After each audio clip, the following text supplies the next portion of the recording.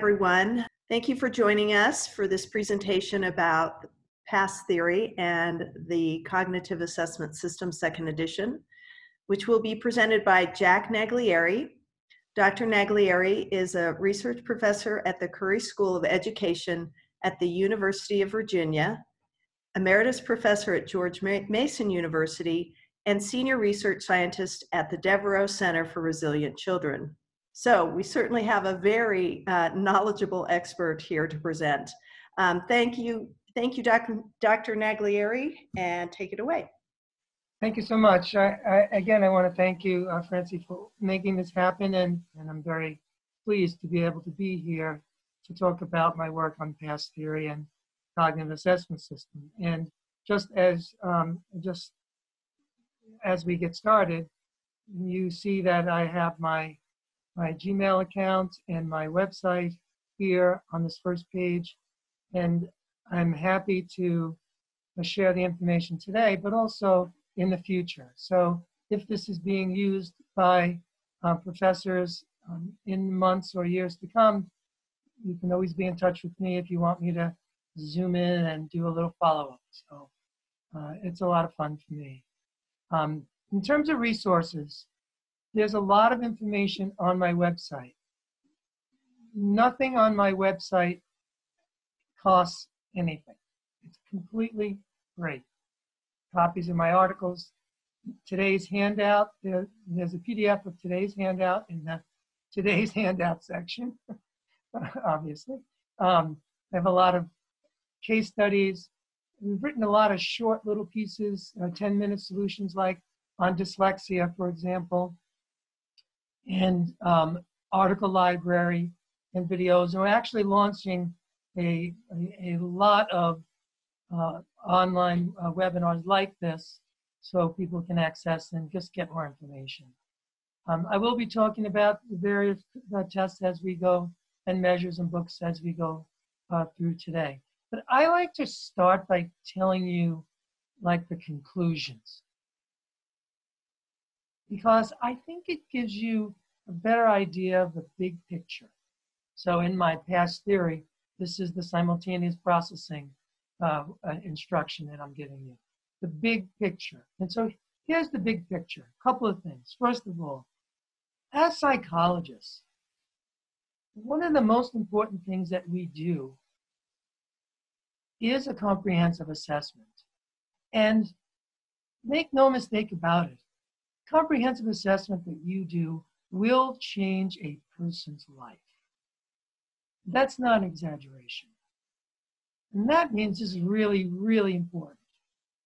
And if you think about particularly an intellectual assessment part of a comprehensive assessment, because obviously comprehensive means to look at personality and social issues and background and on and on and on and on. But we're just going to focus on the intellectual part. What do we really want from that intellectual part? Well, we want it to be consistent with IDEA. So, for example, um, IDEA defines a learning disability as a disorder in one or more basic psychological processes. Well, that means you should measure those. That means you should use a test that actually is designed to measure basic psychological processes. We certainly want to understand why a student fails. That's critically important because unless we know why, we don't really know what to do. We don't really know what to tell the teacher. We might have answers, but they may not be really the answer. And we really want to look at academic and cognitive strengths and weaknesses, the academic and the intellectual processes, and uh, uh, weak strengths and weaknesses should, should be consistent. Talk a lot about that. And not last but least, but last but maybe most, important. Our tools have to be fair. And by fair, I mean, I mean not just psychometrically not biased, but also from the concept of equity. And I'll talk about that as we go through.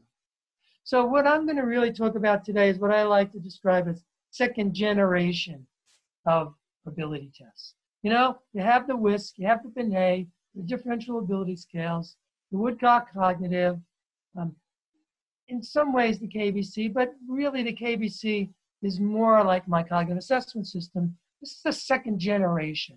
When Kaufman's first started to talk about the KBC, they said, we know what the WISC is, we want to do it different. And that's what I did with my friend and colleague, JP Das. But the key is this, with the, with, with the, with the cognitive assessment system, we want to measure the way students think to learn. I'm going to be talking a lot about that. And thinking should be defined on the basis of brain function. And so we have the PASS theory, which is a way of defining thinking, and the cognitive assessment system as a way of measuring the student's ability to think. So all this stuff needs to be connected. And that's that's the those are the basic conclusions. And now I'm gonna help you understand all the details and how we got here and do it in uh, in 81 minutes we got left. So um, it might surprise you to know that um, I actually became very interested in how people learn in my first profession, which was not psychology at all. Um, I was a professional musician. And I started playing professionally when I was 17. This was the first band I was ever in. This is um, a couple years before I grew my beard. And um, one of the things I realized was when I taught guitar, which I did a lot of, using the same books and the same instruction, some kids got it, some kids didn't. And I was really puzzled, like, why is that? So I tried to find out, um, but didn't really get a clear answer. When I went off to undergraduate school, I really resonated with psychology, especially courses on learning, whether it was animal learning or human learning, uh, notwithstanding. So then I started, uh, after I got my school psych certificate, I started working as a school psychologist, and I noticed something really weird. I was working at this school, Charles Campagne Elementary in Bethpage, New York, where I was living, near where I was living. And I noticed that a lot of the questions on the WISC were just like the questions on the achievement test. There was an information subtest on the WISC. There was an information subtest on the Peabody Individual Achievement Test. There was a vocabulary test in both place, places. Sometimes the questions were virtually identical. It didn't make any sense to me, but I didn't know enough to know to say, it's not that it didn't make any sense. What I should have been saying is it's wrong. I say that today. It's wrong. I'm going to explain that some more. Now, after I um, after I got my PhD at the University of Georgia, I started my first job in Arizona. And I went to a, a lecture, like within the first month I was there, on Native American Navajos by a geneticist. And I thought, well, this guy must really know what he's talking about, right? Well, he started talking, talking, and the more I listened to him, the more concerned I got because he was saying, you know, Native American Navajos, their left brains aren't as well developed as their right brains because when you live on the desert, you have to have good spatial skills, and that's the right part of your brain. And the WISC measures the right part with your with the nonverbal test, and on and on and on. And then I, I started to think, I said, that's ridiculous they don't speak English very well. Well, of course, they're not going to get a high score on a verbal scale. So, uh, my first paper on this topic was Does the WISC-R really measure verbal intelligence for non English speaking children? The answer obviously was no. Sometimes we miss the obvious. And this is where I really got interested in fair assessment. In 1982, my first paper, my first test, the matrix analogies test, was all about that. My first book on gifted is all about fair assessment. Um, all the different iterations of my first test they became the Naglieri nonverbal, now the third edition. And I've actually published more than a dozen tests, and all of these tests had equity in them. Because we really need to do a better job. So, what I'm trying to do here is take you from a place where you might be to another place in terms of your understanding. And I just want to play this great quote by Neil deGrasse Tyson. Give this a listen. One of the great challenges in this world is knowing enough about a subject to think you're right, but not enough about the subject to know you're wrong. Think about that. Sometimes you have to know something so well and see it more realistically. And that's what I want to help you with today. So let's just step back for a second, just a couple of couple of uh, a minute or so. Why do we measure intelligence the way we do? Well, it's because of these guys. Thorndike, Otis of Otis Lennon, Woodworth. These men were responsible for the development of the Army Alpha and the Army Beta tests published in 1917, more than 100 years ago. And that really was the foundation of the Wechsler scales. Wechsler was an, an examiner for the US military, and he gave the Army Alpha and the Army Beta, which became his verbal IQ and performance IQ. The problem is the verbal tests require lots and lots of, of language and knowledge. The nonverbal part, the beta tests, measure more thinking. The verbal tests really measure more knowledge. And this is really the foundation of all the group and individually administered traditional IQ tests. WISC, the DAST, the WJ, the COGAT, the Otis Lennon, they all have this fundamental flaw. And in this slide, I show all the different subtests from all these different instruments that we use all the time. We decide how smart somebody is on the basis of how many words they can define. Does that really make sense?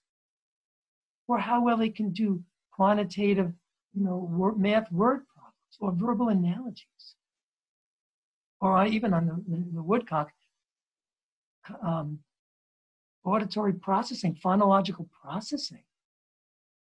This doesn't make any sense to me. And if you go back and you read like writings in the early 70s, like this book that Joe Matarazzo uh, published, Matarazzo worked a lot with Wechsler.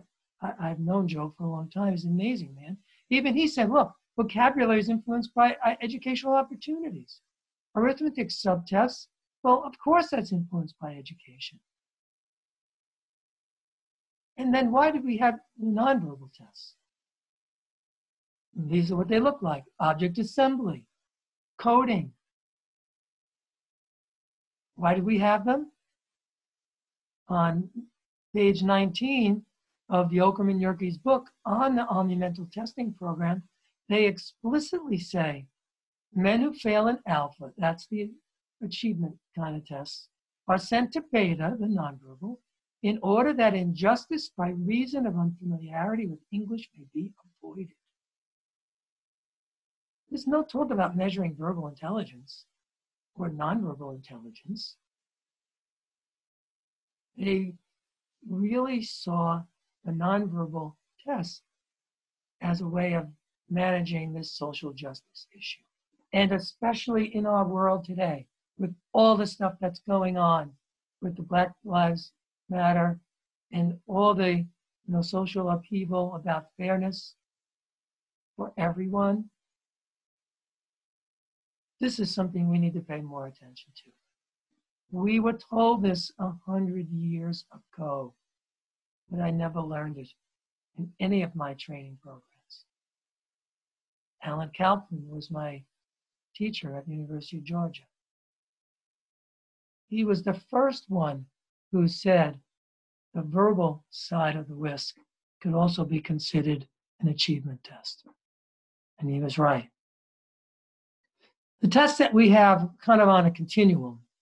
Um, so the achievement tests on the right hand side and the ability tests that don't involve achievement on the leftmost side. And the stuff in the middle is where you get misled. like a Woodcock Johnson, Otis Lennon, a CogAT, a WISC, you get misled. You think they're not so smart, but it's just that they haven't had opportunity, even if they only speak English. So with the cognitive assessment system, the Wechsler Nonverbal, which I am the author of, um, my test of general ability, Bruce Bracken and Steve McCallum's test of unit, um, Don Hammill has a know, nonverbal matrices test. These are the kinds of tests that measure thinking. And that's where we need to recognize we can do better.